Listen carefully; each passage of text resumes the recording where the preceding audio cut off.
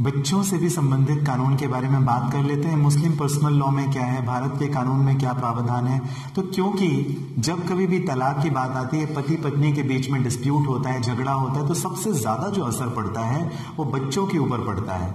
तो क्या प्रावधान है मुस्लिम पर्सनल लॉ में? और उसके साथ ही भारत का कानून क्या प्रावधानित करता है? बच्चों की कस्टडी से लेकर। माँ के साथ बच्चे रहेंगे, पिता के साथ में रहेंगे रहेंगे तो किस उम्र में रहेंगे?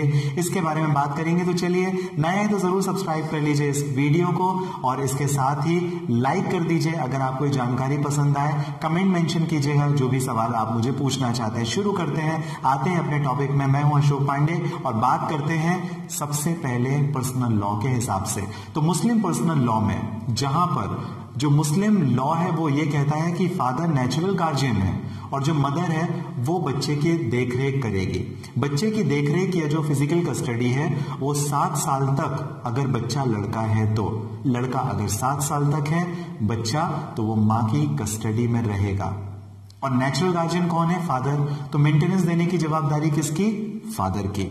ये मैं तब का आपको केस बता रहा हूँ जब दोनों के बीच में डिस्प्यूट है, दोनों अलग साथ में रहते हैं तो एज ऑब्वियस दोनों की ज्वाइंट कस्टडी है। लेकिन जब दिक्कत है दोनों के बीच में, परेशानी है दोनों के बीच में, पति अलग, पत्नी अलग, दोनों अलग अलग रह रहे हैं, इस कंडीशन पे मदर को कस्टडी मिलेगी। फादर नेचुरल गार्जियन होने के नाते मेंटेनेंस की रिस्पॉन्सिबिलिटी लेगा up to seven years of boy लड़के की। अगर लड़की है तो क्या? लड़की भी मदर की कस्टडी में रहेगी, तब तक, जब तक वो प्यूबर्टी अटेंड नहीं कर लेती।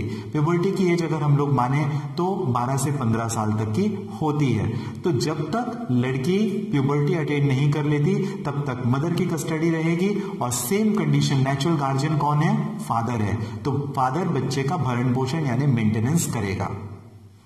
अब इसके बाद एक और बात यह ध्यान में रखने वाली है कि रिट पिटीशन डाली गई ऑनरेबल हाई कोर्ट के सामने और जब अलाहाबाद हाई कोर्ट के सामने एक मैटर आया और यह मैटर था Imtiaz Bano versus M A Jafri का ए आई आर 1979 का केस और यहाँ पर कोर्ट ने क्या डिसाइड किया कि इवन जो रिट पिटीशन होती है क्योंकि इस केस में क्या हुआ था, मैं पहले आपको फैक्ट्स बता देता हूँ। गार्जियन एंड वार्ड्स एक्ट जो बच्चे की कस्टडी से रिलेटेड भारत का कानून है, संबंधित कानून है तो guardian and wards act G W act of 1890 तो इसमें एप्लीकेबल किया गया है कि बच्चे की कस्टडी किसके पास, कब तक रहेगी।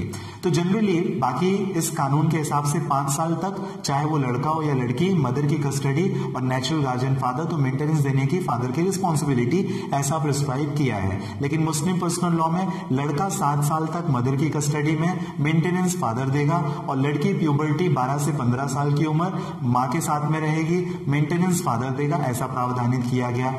फादर ने कस्टडी रखी हुई थी। मदर को कस्टडी चाहिए थी। वो अलाहाबाद हाईकोर्ट के सामने गई और Imtiaz Bano versus M A Jafri के केस में हाईकोर्ट ने बोला कि even the writ petition is maintainable to give the custody to mother तो ऐसा हाईकोर्ट ने डिसाइड किया इस केस में। और फादर और मदर जहाँ पर दोनों अलग अलग रह रहे हैं और दोनों ही बच्चे की कस्टडी क्लेम कर रहे हैं तो इस कंडीशन पर वेलफेयर ऑफ़ चाइल्ड देखते हुए माँ को कस्टडी दे दी जाती है अमूमन ज़्यादातर केसेस में, जब तक कुछ rarest of the rare condition ना हो और इसके साथ एक और प्रेफरेंस मिलती है, क्योंकि बच्चा माँ के साथ ज़्यादा अच्छे, बेहतर परवरिश ले सकता है।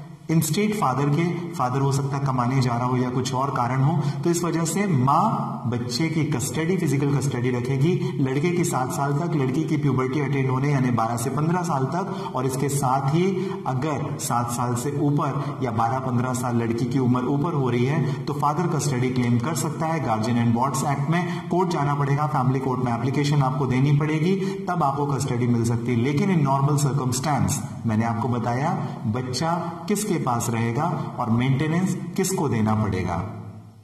आपको ये जानकारी कैसी लगी मुझे ज़रूर आप बताइएगा कमेंट बॉक्स पे इसके साथ ही साथ सब्सक्राइब कर लीजिए अगर आप नए हैं तो। मैं हूँ अशोक पांडे, आप अगर मुझे पर्सनली बात करना चाहते हैं तो बात करने के लिए व्हाट्सएप नंबर दिया है। इसके साथ ही इस वीडियो के डिस्क्रिप्शन में लिंक है, जहाँ पर आप मुझे आपकी पर्सनल प्रॉब्लम से बात करने के लिए अपॉइंटमेंट रिक्वेस्ट मेंशन कर सकते हैं। दिल्ली ऑफ़िस में मिलना चाहे, आप मुझे डेली ऑफ़िस में ही मिल सकते हैं और हमेशा की तरह जो आप मुझे कीमती और महत्वपूर्ण समय आपका देते हैं, इसके लिए आप सभी का बहुत धन्यवाद।